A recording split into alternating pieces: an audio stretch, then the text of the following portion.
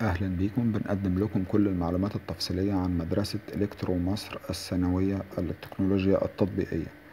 آه، كل المعلومات اللي هنجيبها لكم في الفيديو من مصادر رسمية إن شاء الله عشان تكون مؤكدة وتستفيدوا بيها. آه، عنوانها مدينة السلام القاهرة. تم افتتاح المدرسة أول عام دراسي 2019-2020 مصاريف المدرسة هي تعتبر زي مصاريف أي مدرسة حكومية لا تتعدى 200 جنيه. التخصص الصيانة كهربائية. تم إنشاء المدرسة بالتعاون بين وزارة التربية والتعليم والتعليم الفني وكل من شركة شنايدر والمعهد الأوروبي للتعاون والتنمية والغرفة الفرنسية للتجارة والصناعة.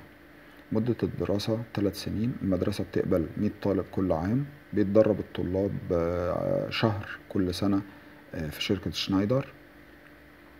بيحصل الطلاب على مكافأة شهرية أثناء فترة التدريب العملي. تشترط المدرسة اجتياز اختبار تحريري في اللغة العربية والإنجليزية والرياضيات. بيحصل الخريج على شهادة فني مبتدئ صيانة كهربائية معتمدة من وزارة التربية والتعليم ومعتمدة أيضا دوليا من فرنسا. الشهادة بتأهل الطالب للتقديم في كليات التكنولوجيا التطبيقية الجديدة والمدرسة ما فيهاش قسم داخلي. شروط التقديم يفضل أن يكون الطالب من أبناء محافظة القاهرة وأن يكون حاصل على الشهادة الإعدادية في نفس السنة يعني في السنة السابقة مباشرة للتقديم وألا يزيد سن الطالب في أول أكتوبر عن 18 سنة وإنه يكون لائق طبيا يعني يجتاز الكشف الطبي وإنه يكون مصري الجنسية ويجتاز اختبار القدرات اللي هو الامتحان التحريري والمقابلة الشخصية التي تعقد بالمدرسة.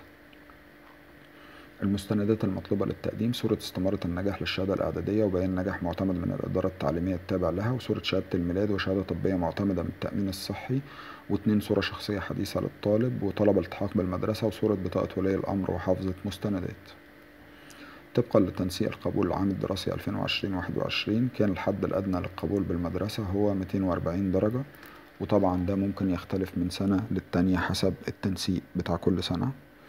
لو عجبك الفيديو اضغط لايك ولو تحب تعرف مصاريف مدارس القاهرة والإسكندرية وكل أخبار التعليم اشترك في القناة.